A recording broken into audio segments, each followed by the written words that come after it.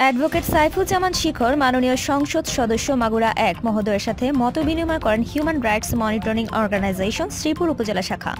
BD TV news report করেছেন জিল্লুর রহমান সাগর, বিশেষ প্রতিনিধি। সঙ্গে আছে আমি তানজানা রহমান, লিজা। মাগুরার গণমানুষের নেতা অ্যাডভোকেট সাইফুজ্জামান শিখর। মাননীয় সংসদ সদস্য মাগুরা এক মহোদয়ের সাথে মত বিনিময় করেন human rights monitoring organisation, Shripur উপজেলা শাখা। এ সময় উপস্থিত ছিলেন শ্রীপুর উপজেলা শাখার সভাপতি মির্জা মিজানুর রহমান নওরোজ, সাধারণ সম্পাদক মোহাম্মদ সিরাজুল ইসলাম টোকন, প্রচার সম্পাদক মোহাম্মদ মিরাজ আহমেদ সহ বিভিন্ন ইউনিয়নের নেতৃবৃন্দ এবং সফর সঙ্গী হিসাবে উপস্থিত ছিলেন মাগুরা জেলা শাখার এইচ আর এমও সাধারণ সম্পাদক এইচ এন কামরুল ইসলাম, বিশিষ্ট ব্যবসায়ী ও সাংবাদিক প্রমুখ।